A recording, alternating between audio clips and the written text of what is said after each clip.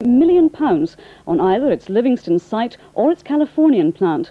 Winning the deal would be a major boost for the town, suffering from the winding up of its development corporation two years early. In the latest of our series on Scottish towns, business editor Maurice Smith went on the road to Livingston. The Livingston Development Corporation was created. Their job? Build a town from scratch. Scotland's five new towns were the creation of a post-war dream.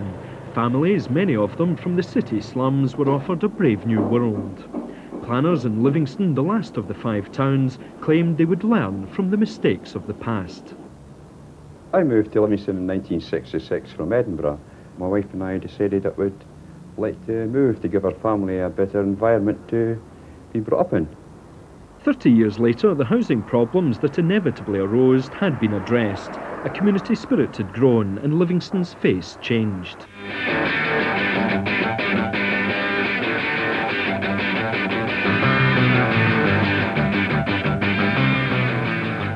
New towns became synonymous with social alienation and lack of amenities. In Craigshill, the first Livingston scheme, locals learned the power of community politics. All rummage. Craigsfarm Centre has become a symbol of that experience. Upstairs in a studio above the nearly new shop, children learn to dance.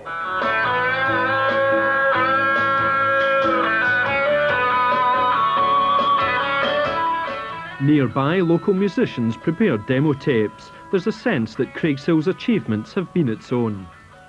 In Livingston, it's really the people have been the main thing. I mean, it's not, and it's something you don't want to lose. You don't want to, the town to lose its identity. The communities in Livingston have been very good at using their own initiative and doing things themselves. My fears now are that there doesn't seem to be the same commitment to supporting community initiatives from the authorities if we will take over. The majority of my married life and uh, my children's lives, so to speak, have been involved in the town. And so Livingston, I feel, is, is ourselves. I mean, Livingston is not a, a, a town as such. I would say it's, it's a way of life for us. The completion of the final phase of Almondvale Shopping Centre will be an important boost to the town's realisation of its maturity. Livingston's population is just more than 40,000, with an average age of 29.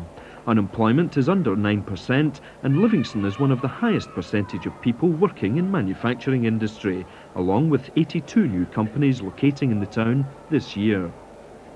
We've now reached a stage where there's almost 700 companies in Livingston. Jim Pollok's the man responsible for Livingston's claim to be capital of Scotland's Silicon Glen. The Development Corporation's chief executive believes high-profile investors like Japan's NEC back up the promotional rhetoric. But he's among those who agree with the argument that the town as a whole has not yet fully developed. These houses will be the last to be built by Livingston Development Corporation, but there are fears for the future. The abolition of the five Scottish new towns opens the door to the possible privatisation of many of their major assets.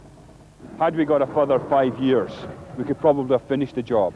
I think we'd have to admit there are gaps which we're hoping to plug, uh, but with uh, just over two years left, it's going to be very difficult. We're running at 100 miles an hour, we'll probably hit the buffers at 100 miles an hour, but in an ideal world, a further five years would have suited us fine.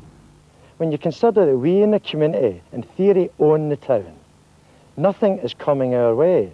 The, the finance is going elsewhere, they're trans transferring assets to either district or a new authority. And I'm really not very happy about it at all.